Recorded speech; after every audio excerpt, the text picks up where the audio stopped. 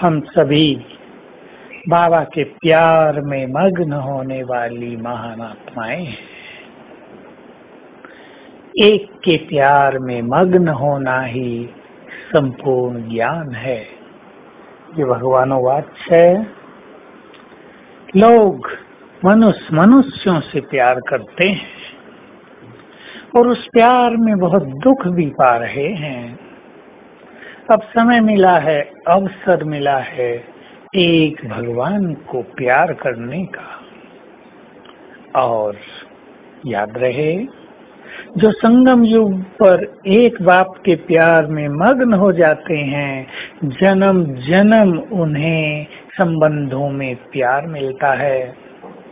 जो संगम युग पर सभी को प्यार देते हैं, उन्हें किसी भी जन्म में किसी के प्यार की आवश्यकता नहीं रहती, वो सदा ही दाता बनकर रहते हैं।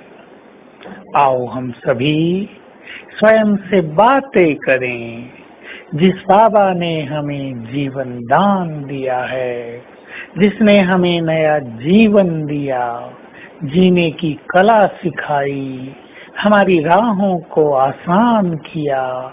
उसे भूल भला और हम किसे याद करते हैं? चिंतन करें अपने से और भूल जाएँ सारे संसार को। उसके प्यार में, उसकी याद में, जिसने हमारे लिए नया संसार दिया है।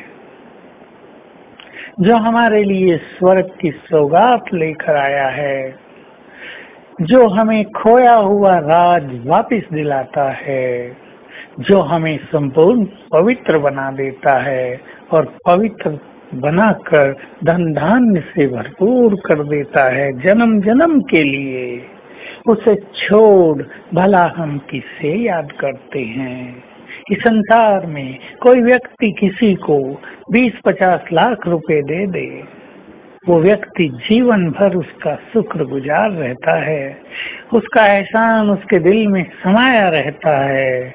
और बाबा, न केवल 21 जन्मों के लिए, लेकिन तीन युगों के लिए हमें भरपूर करके जाता है, ताकि हमें कहीं भी भाग्य को कोसना न पड़े। तो बाबा के प्यार को महसूस करें।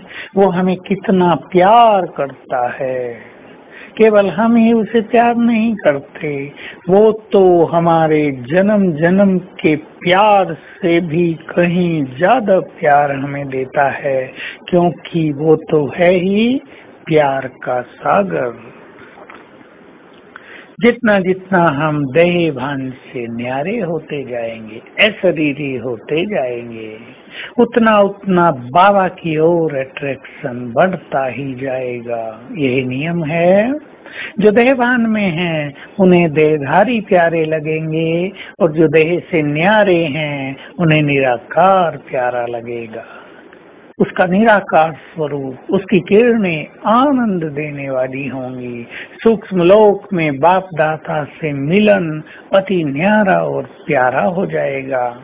तो हम अपने चित्त को सर्वात्माओं के लिए भी प्यार और शुभ भावनाओं से भर दें, क्योंकि योगी वही बन सकते हैं, जिनका चित्त सभी के लिए प्यार से भरपूर हो शुभ भावनाओं से भरपूर हो, जिन्होंने घृणा भाव, बदले का भाव या ईर्षा द्वेष का भाव अपने अंदर समाया है, वे योगी नहीं बन पाएँगे, क्योंकि भगवान उन्हें प्यार नहीं करता।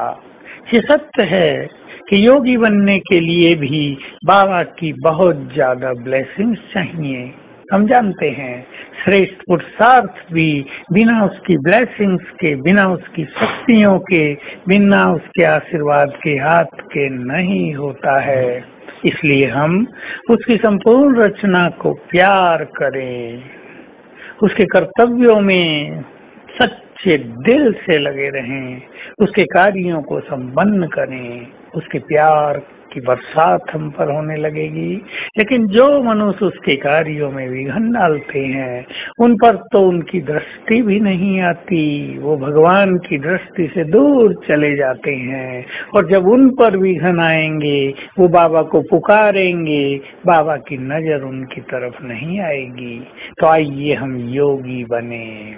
आज सारा दिन बहुत अच्छा अभ्यास करेंगे। मैं मास्टर सर्व शक्तिवान और परम धाम से सर्व शक्तिवान की शक्तियों की किरणों का फाउंटेन मेरे ऊपर उतर रहा है।